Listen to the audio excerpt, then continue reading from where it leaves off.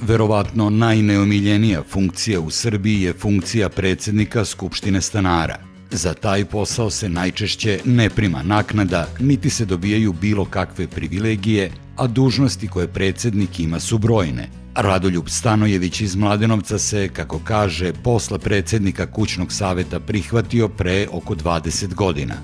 Tada nije znao kakve nevolje ta dužnost može da mu donese – U januaru 2014. godine Stanojević je od izvršitelja dobio zaključak kojim se obavezuje da isplati oko 105.000 dinara duga svih stanara stambene zgrade za zajedničku električnu energiju. Meni je sudski izvršitelj poslao zahte da u roku od 8 dana isplatim kompletnu sumu na, na osnovu dugovanja. Može se desiti da, da meni naplate to sve, a ja od stanara ne verujem da ću moći da naplatim potraživanja.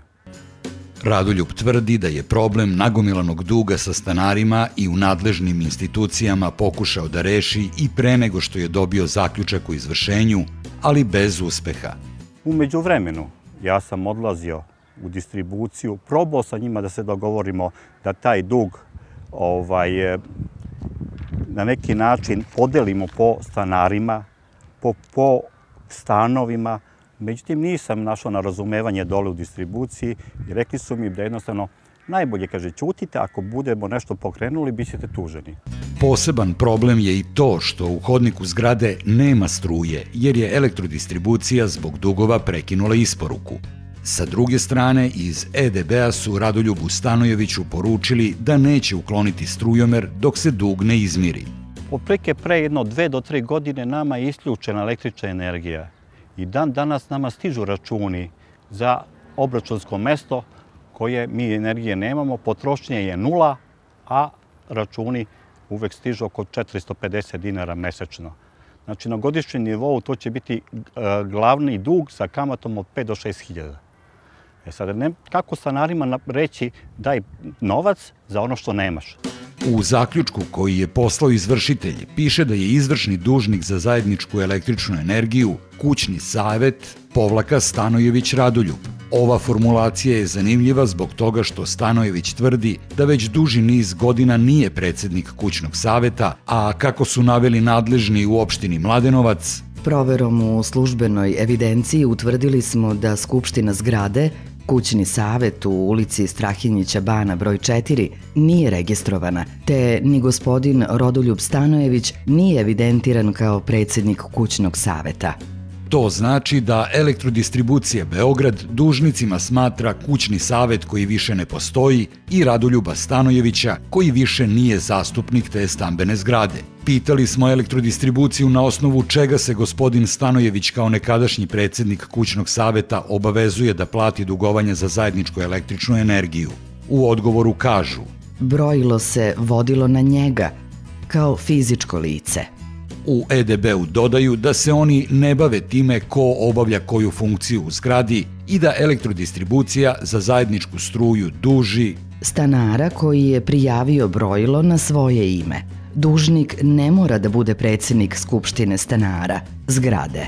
Od nadležnih u EDB-u smo tražili na uvid dokument koji dokazuje da se brojilo zajedničke električne energije vodi na Radoljuba Stanojevića. Ispostavilo se da dokument na osnovu koga elektrodistribucija Beograd duži Stanojevića postoji od 1998. godine.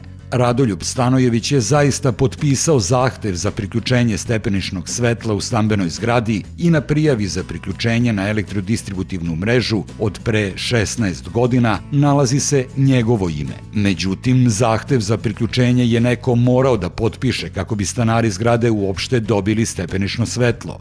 Svetlanu Manić, port parolku komore izvršitelja, smo pitali da li se često dešava da se predsedniku kućnog saveta naplaćuju dugovi za zajedničku električnu energiju u zgradi. Ne često, vrlo redko, da kažem izuzetno.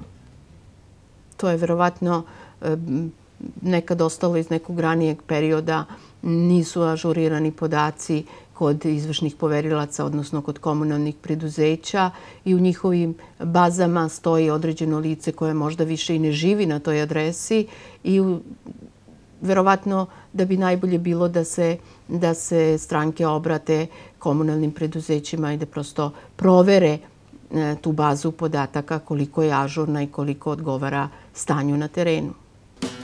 Zaključak o izvršenju koji je Stanojević dobio ima i drugih spornih tačaka. Na primer, elektrodistribucija duži kućni savet Raduljuba Stanojevića za period od februara 2004. do juna 2013. godine. U izvodu iz poslovnih knjiga koji je poslao EDB postoji dokaz za isporučenu električnu energiju tek od avgusta 2006. godine, te dakle nedostaju verodostojne isprave za period od 2004. do 2006. godine. Takođe, prema zakonu o obligacionim odnosima, potraživanje naknade za isporučenu električnu energiju zastareva ukoliko se u roku od godinu dana ne pokrene postupak pred sudom. To znači da je dug kućnog saveta od 2004. do januara 2013. godine zastareo. Port parolka Manić objašnjava da se izvršitelji ne bave time da li je potraživanje zastarelo.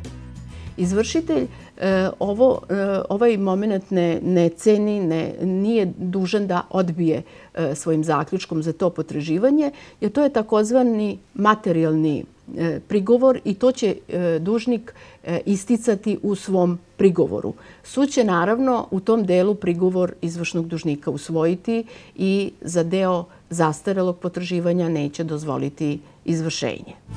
Manić dodaje da je u slučaju Raduljuba Stanojevića rešenje podnošenje prigovora u kome bi se naveli svi razlozi za neizvršenje zaključka. Stanojević je upravo to i učinio i preko zastupnika uputio prigovor Prvom osnovnom sudu u Beogradu. Da li će sud uvažiti Raduljubov prigovor, ostaje da se vidi.